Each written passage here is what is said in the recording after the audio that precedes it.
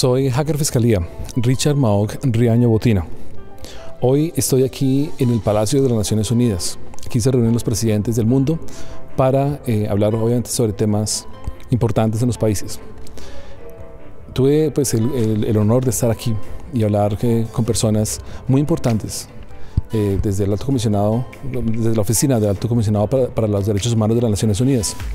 Para mí es, vuelvo y digo, un honor porque tal vez muchas víctimas quisieran estar acá, muchas víctimas, pero ya que descubrí la infiltración paramilitar en el Estado, en la Fiscalía, en la Policía, en el Ejército, en el DAS, en el IMPEC, en la Corte Suprema de Justicia y en el Congreso, es el momento de decirle al mundo cómo esta infiltración permeó todas las, todas las instancias del poder, a tal punto que hubo una gran violación de derechos humanos, muchas muertes, miles de muertes, de desaparecidos, de desaparición forzada.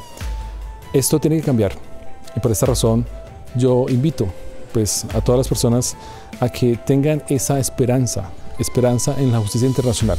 Es posible.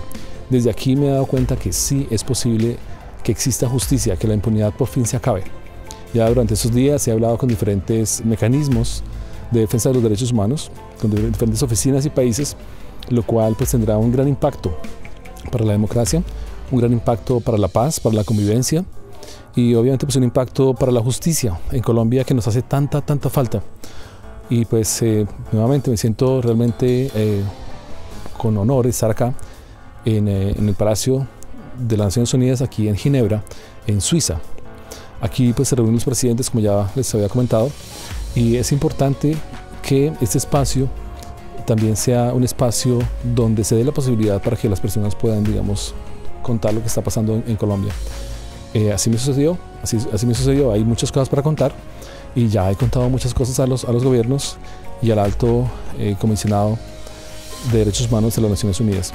Pienso que em, va a haber cambios positivos, eh, no, no, les adelanto nada en concreto, por seguridad y por privacidad, pero la respuesta ha sido increíble.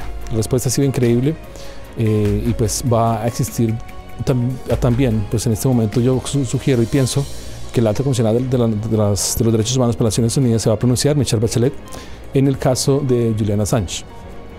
Es algo muy importante que tiene que pasar.